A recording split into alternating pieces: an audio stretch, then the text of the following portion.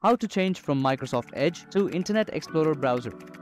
In order to change from Microsoft Edge to Internet Explorer browser, first of all, go to your settings and then go to apps. After you do that, go to default apps right here, click on it, then search for Microsoft Edge and make sure that you set the Microsoft Edge as default browser. Click on set default right here and that's it, you have set Microsoft Edge as your default browser. Now after you do that, open the Microsoft Edge browser, go to the three dots icon right here at the top right corner of the screen, click on it and go to settings, go to default browser right here at the left side of the screen, click on it and you shall see this page right here. If you do not see this page, then make sure that you have the B capital right here in this URL right here. Make sure that you have the B capital. If you have the B small, then that problem might occur, right? So if you have the B letter capital right here, then you should see this page. Now after you do that, make sure that you click on allow right here and restart your browser. So after you restart your browser, go to the three dots icon again and click on reload in Internet Explorer mode. After you click on reload in Internet Explorer mode, then your sites will be opened up in Internet Explorer mode. So that's how you change from Microsoft Edge to Internet Explorer.